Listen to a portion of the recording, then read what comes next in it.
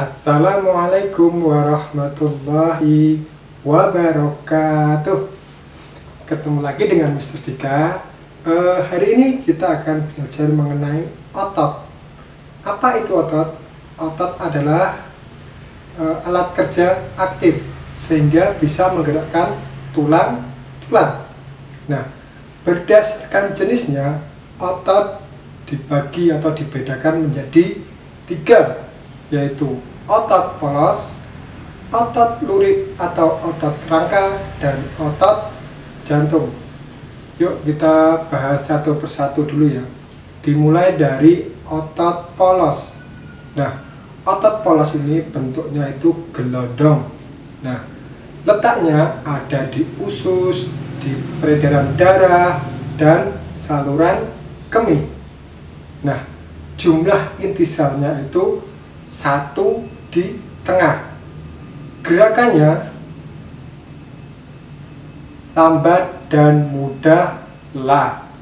Nah, cara kerjanya otot polos ini bekerja tanpa kesadaran otak. Berikutnya, otot lurik atau otot rangka. Nah, bentuknya itu silindris ya, atau tabung gitu ya. Kemudian letaknya pasti melekat pada rangka. Kemudian jumlah inti selnya banyak atau multisel. Gerakannya cepat dan mudah lelah. Cara kerjanya bekerja dengan perintah otak. Kemudian berikutnya adalah otot jantung. Nah, bentuknya adalah silindris dan ada percabangan. Nah, letaknya pasti di jantung. Kemudian jumlah inti selnya satu ada di tengah. Kemudian gerakannya bekerja terus-menerus dan tanpa istirahat atau tidak membutuhkan istirahat.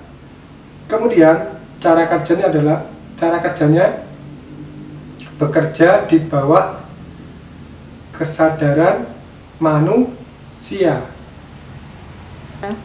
Nah, kita lanjut ke cara kerja otot.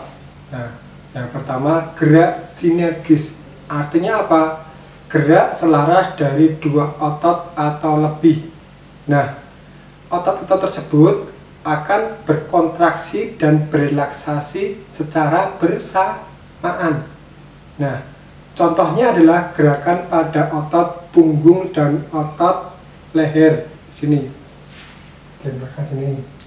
Kemudian ada gerak antagonis atau kebalikan dari sinergis. Artinya uh, otot itu bekerja berlawanan. Artinya apabila satu otot itu berkontraksi, maka yang lain akan berrelak relaksasi. Contohnya adalah uh, otot bicep dan otot tricep. Nah, kita lanjut ke kelainan atau penyakit pada otot. Yang pertama, stiff atau kaku leher. Nah, ini diakibatkan karena gerakan yang secara tiba-tiba atau menghentak ataupun salah gerak. Kemudian yang nomor dua adalah antrofi, yaitu ototnya itu mengecil, melemah, dan fungsi otot akan menurun. Kemudian hipertrofi, nah ini lawannya dari antrofi, ototnya semakin besar dan semakin kuat. Karena apa? Karena aktivitas yang terus-menerus dan berlebihan.